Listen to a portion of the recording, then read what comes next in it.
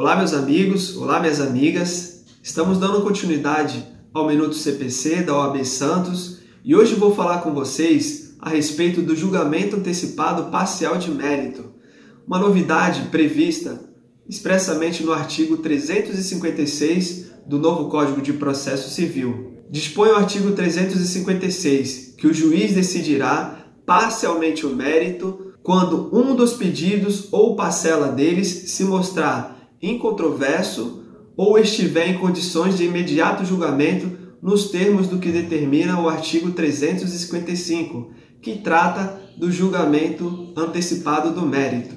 O clássico exemplo que a doutrina nos traz a respeito do julgamento parcial de mérito é o divórcio. O divórcio pode ser decidido parcialmente o mérito, o juiz decretará o divórcio do casal e, no momento posterior, julgará a partilha de bens ou até mesmo os alimentos entre os cônjuges. O recurso cabível contra a sentença parcial de mérito é o recurso de agravo de instrumento por expressa previsão legal.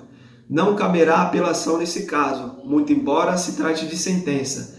Esta é uma observação que se faz necessária para que os operadores do direito não se utilizem do, do recurso inadequado.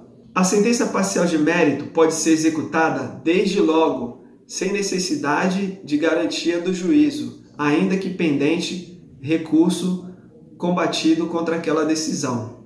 Esse foi mais um Minuto CPC. Se você gostou do vídeo, curta e compartilha e siga nossa página nas redes sociais. Obrigado!